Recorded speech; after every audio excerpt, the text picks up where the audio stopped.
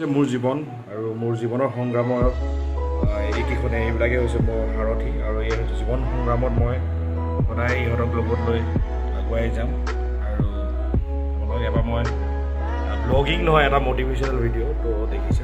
আপোনালোকে মোৰ ইয়াতো দেখিব পাইছে চাগে এখন মডাৰ্ণ হিষ্ট্ৰী এখন আউটডেটেড হৈ গ'ল। সেইকাৰণে মই কিতাপবিলাক সদায় আপডেট কৰি থাকোঁ আৰু এইবিলাক ধেৰ কিবি নোট চোটছ কিবা কিবি আছে মোৰ। টেবুলখন মানে ভাড়াঘৰত থাকোঁ যিহেতু। সেইকাৰণে ইমান আৰু বস্তু ল'ব মন নাযায় কাৰণ এতিয়া ক'ত যাবলৈ ঠিক নাই?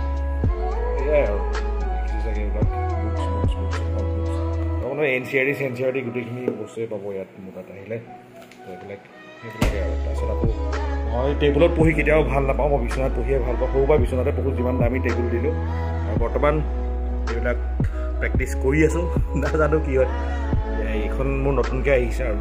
এইখন নতুন এডিশ্যন হয়। পুৰণাখন কিছুমান বস্তু নাই কাৰণে এখন নতুনখন লৈ ল'লোঁ আৰু মই কিতাপবিলাক পুৰণা হ'লে ভাল নাপাওঁ। ঠিক আছে তেনেকৈ সেইখন লৈ এনেকৈ চলি আছে পঢ়ি আছে কুৱেশ্যন চুৱেশ্যন উলিয়াই লৈছোঁ ঠিক আছে। তো এয়াই মোৰ জীৱন আৰু জীৱন সংগ্ৰামত এনেকৈ আগবাঢ়ি যাম। আপোনালোক আগবাঢ়ি থাকক। ঠিক আছে ধন্যবাদ।